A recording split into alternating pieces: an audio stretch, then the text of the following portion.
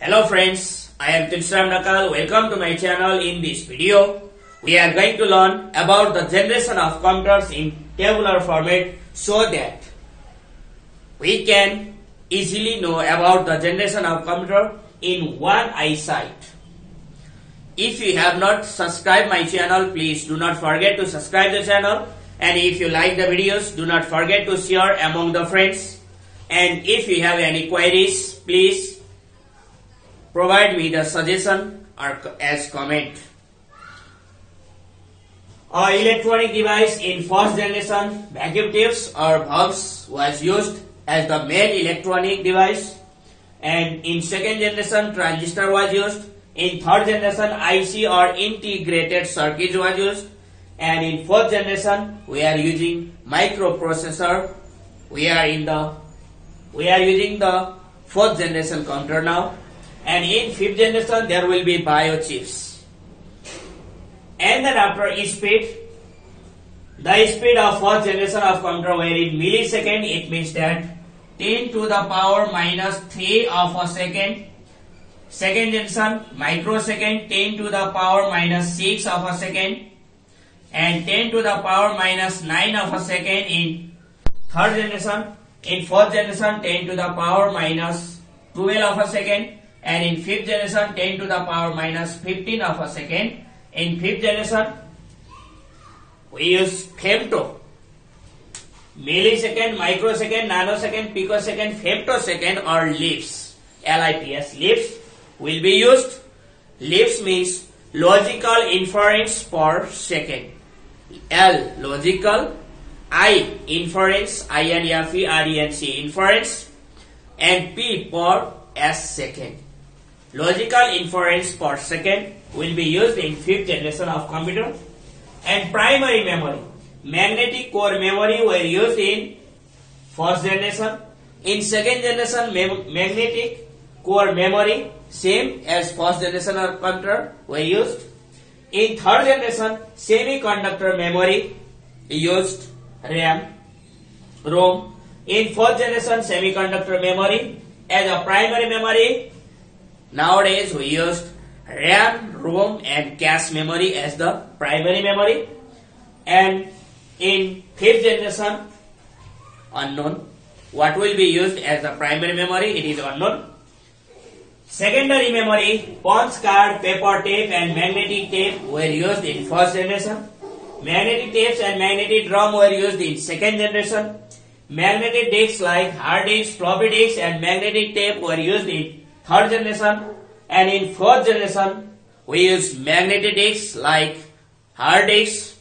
We use pen drives as well as optical discs like CD, DVD and latest BD means Blu-ray discs are used in nowadays as the secondary storage memory and in fifth generation new technology for storage will come. Next control language in first generation fully machine level language were used. Machine level language was used in first generation. In second generation assembly language as well as little bit of high level language means COBOL, Fortran, were used in second generation.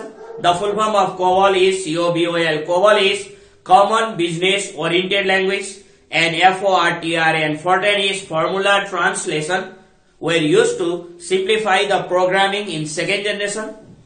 In third generation, fully high level language.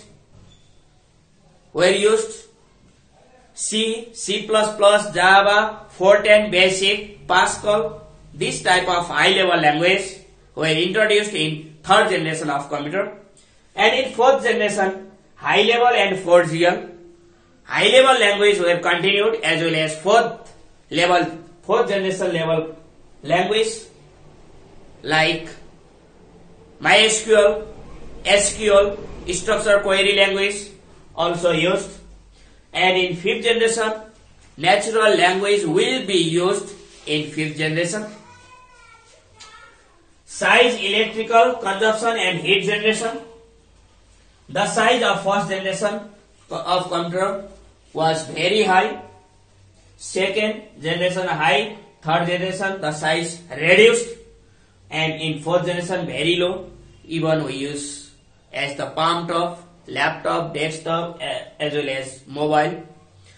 In fifth generation it is unknown what will be the size. And then after speed capability the speed of computer of first generation was very less second generation less third generation moderate moderate and fourth generation high. The speed is high in fourth generation and fifth generation will be much higher. And after next input device and output devices. In first generation, punch card printing device were used for input and output. Punch card and printing devices were used for input and output operation. In second generation, punch card and printing device. But in third generation keyboard was in, introduced for the input device keyboard was used and for the output device monitor was used. And in fourth generation we use different input devices and output devices like speaker monitor as soft copy output device and printer and plotter as hard copy output device. And in fifth generation that is unknown the example of first generation is univac ENIAC, ENIAC, EDSAC, Mark I were the example of first generation. Second generation of computer example are IBM 1401. It was brought to Nepal in 2028 for census calculation for the first time. And CDC 1604, IBM 1794, 7030, ICL 2950 slash 10, this was the second generation mainframe computer brought in Nepal in 2038 for census calculation. In 28, 2028 BS, IBM 1401, it was also the second generation of computer as well as mainframe computer brought in 2028 BS.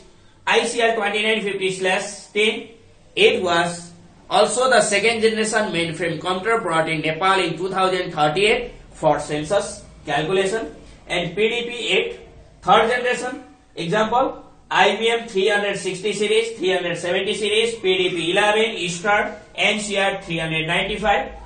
In fourth generation, IBM PC, Apple Macintosh, Apple second, and fifth generation unknown. This is a tabular format of generation of computer. I think you have understand a lot from this table about the generation of computer. I will upload other videos too. Thanks for watching the video.